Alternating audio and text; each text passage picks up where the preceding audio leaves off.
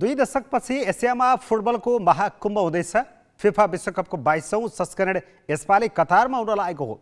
एसियामा दुई हज़ार दुईमा पहिलोपटक जापान र दक्षिण कोरियाले संयुक्त रूपमा फिफा विश्वकप आयोजना गरेका थिए। यसपालि विश्वकपको इतिहासमै पहिलोपटक जाडो मौसममा विश्वकप हुँदैछ। केही बलिया देश र स्टार खेलाडी भने कतार विश्वकपमा देखिने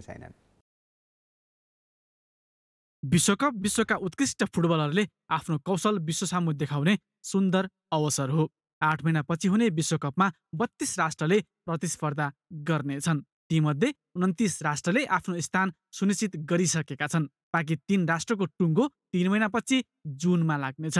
युरोपियन च्याम्पियन इटली लगातार दोस्रो पटक विश्वकपबाट बाहिरिँदा छत्तिस वर्षपछि उत्तरी अमेरिकी महादेशबाट क्यानाडा विश्वकपको टिकट काट्न सफल भयो। क्यानाडाले पहिलो पटक उन्नाइस सौ छयासीमा मेक्सिकोमा भएको विश्वकप खेलेको थियो। दुई हजार अठारमा रुसमा भएको विश्वकपमा क्वार्टर फाइनलसम्मको यात्रा तय गरेको स्विडेन प्लेअफको अन्तिम खेलमा पोल्यान्डसँग दुई शून्य गोलले पराजित भएका कारण कतार विश्वकपमा देखिने छैन। बलिया राष्ट्रले स्थान सुरक्षित गर्न नसक्दा केही स्टार खेलाडीले समेत विश्वकप गुमाउनेछन् तीमध्ये एकुन एर्लिङ हालान्ड। गत सिजन च्याम्पियन्स लिगमा पिएससी विरुद्धको प्रदर्शनका कारण चर्चामा आएका हालान्ड अहिले युरोपका सबैभन्दा धेरै खोजिने युवा खेलाडी मध्येमा पर्छन्। उनले विश्वकप छनौटमा पाँच गोल गरे तर उनको देश नर्वे युरोपबाट छनौट हुन सकेन। यसपालि विश्वकपमा देख्न नपाइने अर्का खेलाडी हुन् मोहम्मद सलाह।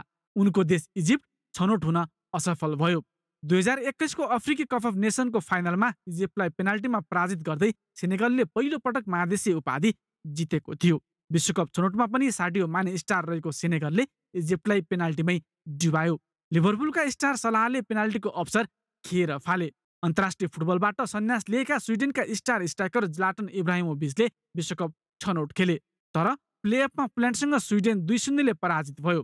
पोल्यान्ड विरुद्ध ज्लाटनले अन्तिम दस मिनट मात्रै खेलेका थिए। सन्यासपछि टिममा फर्किएका ज्लाटनको टिम पराजित भएपछि उनी पनि विश्वकपमा देखिने छैनन्। यो वर्ष निशुल्क ट्रान्सफरमा आर्सनलबाट बाहिरिँदै बार्सिलोना पुगेपछि पिएरे औबुम्याङ हेडलाइन्समा छाएका थिए। ला लिगाका सात खेलमा सात गोल गरेका उनले विश्वकप छनौटमा महत्वपूर्ण दुई गोल गरे र पनि गोबानलाई विश्वकपमा पुर्याउन सकेनन्। विश्वका प्रख्यात मिडफिल्डर मध्यमा पर्ने इटालीका मार्को भेराटीले अहिलेसम्म एउटा मात्र विश्वकप खेलेका छन्। जुन दुई हजार चौधको संस्करण हो।